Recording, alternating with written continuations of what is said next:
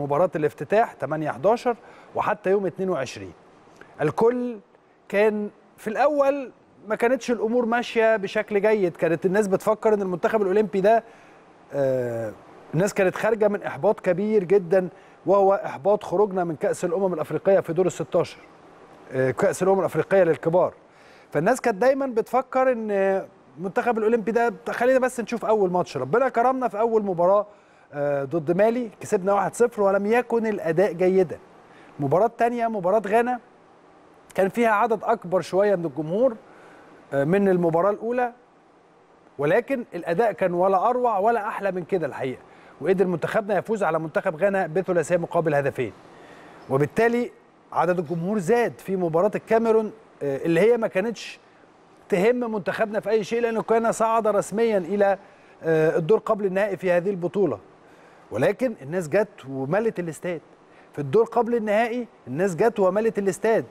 في المباراة النهائية قدام ساحل العاج الناس برضو جت وملت الاستاد. وبالتالي ثقة الناس في أو ثقة الجمهور المصري في منتخبنا الأولمبي زادت بشدة.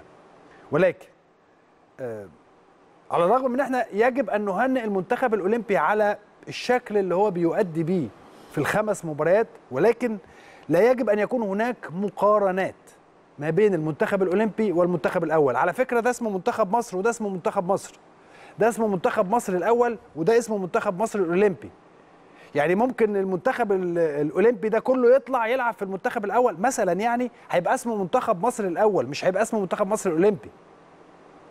فالمقارنات والتريقة اللي بتحصل على المنتخب الأول من وجهة نظري هي أشياء عفوا هي أشياء غير صحيحة. وجهة نظر ما أعرفش يعني اللي ممكن يتقبلها أوكي اللي ما يتقبلهاش يعني ممكن جدا يناقشني في هذا الموضوع. الاثنين اسمهم منتخب مصر الاثنين يجب أن تكون هناك مساندة كاملة للمنتخب الأول زيها زي اللي موجودة في المنتخب الأولمبي. المنتخب الأولمبي هو اللي عمل حالة من المساندة خلال الفترة اللي فاتت ولكن المنتخب المصري الأول اسمه منتخب مصر. اللي هو مجموعة اللاعبين اللي حضراتكم شفتوهم الشناوي وحجازي ومحمود علاء والجانب الشمال اللي موجود فيه والجانب اليمين اللي موجود فيه وبقية اللاعبين أيمن أشرف وأحمد فتحي ومحمد هاني وبقية اللاعبين اللي متواجدين في وسط الملعب هم دول اسمهم منتخب مصر بالمناسبة.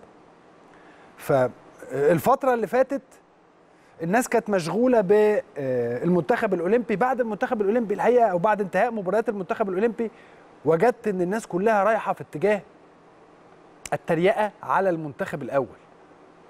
تريقة على المدير الفني للمنتخب الأول كابتن حسام البدري. على بقية الجهاز الفني اللي موجود يقول لك ده منتخب مش هيعمل حاجة. أنا بقول لحضراتكم حاجة وهنتقابل إن شاء الله ربنا يدينا ويديكم الصحة والعمر. منتخب مصر سيصعد منتخب مصر الأول سيصعد أو أول عن هذه المجموعة. وجهة نظر حاجة بسيطة جدا. لسه المباراة القادمة في شهر تسعة اللي جاي. الدنيا هتقوم وتقعد لغاية شهر تسعة اللي جاي محدش عارف إيه اللي ممكن يحصل.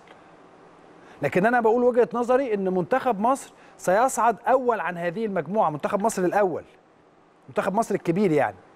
هيصعد أول عن هذه المجموعة. أنا وجهة نظري كده. وجهة نظري إن إحنا عندنا مجموعة جيدة جدا من اللاعبين عندنا مدير فني ومجموعة وجهاز فني محترم الاثنين يقدروا يولفوا على بعض خلال الفترة اللي جاية. كابتن حسام هيعمل جولات أكتر هيعمل هيبقى بقاله فترة طويلة هيقعد هيبتدي معسكراته بدري هيشوف الدنيا ماشية إزاي أفضل خلال الفترة اللي جاية. وبالتالي لا عندنا مجموعة لاعبين كويسين عندنا تريزيجيه عندنا كهربا عندنا محمد صلاح عندنا أحمد حجازي عندنا محمد الشناوي عندنا مجموعة كبيرة جدا فالحقيقة يعني التريقة على المنتخب الأول وجهة نظري إن هي لا تصح.